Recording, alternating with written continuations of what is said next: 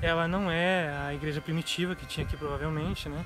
Ela passou por várias reformas, mas a história da fé aqui na cidade ela remonta então aos jesuítas, né? Aos padres jesuítas. Então, o sino principal aqui é datado de 1717, que é o sino principal dedicado a São Francisco Xavier, que é um dos padroeiros dos jesuítas, né? Santo Jesuíta. Então, provavelmente a igreja aqui, a fé em São Mar... A fé aqui católica, né, ela data do século XVIII, provavelmente, né?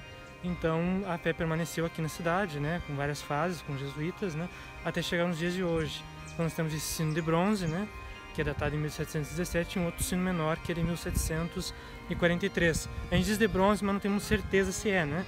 É, provavelmente que seja. Então esses sinos dedicados a São Francisco Xavier e é um outro santo que a gente não consegue mais ver, né? A que santo é dedicado. Então é uma igreja que tem uma história muito rica e antiga. Teve presença de padres desde os jesuítas. Nós sabemos que teve um padre também enterrado aqui na cidade, né? que faleceu em 1889, né?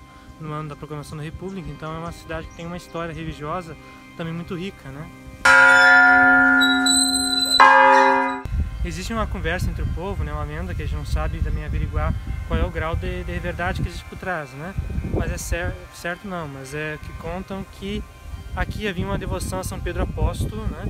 E na cidade onde se encontra o município de São Pedro, havia uma devoção forte a São Martim, da, São Martim de Tours, que é o padroeiro aqui da cidade. Só que quando os municípios, as igrejas encomendaram os santos, vieram no mesmo lote para a região, né?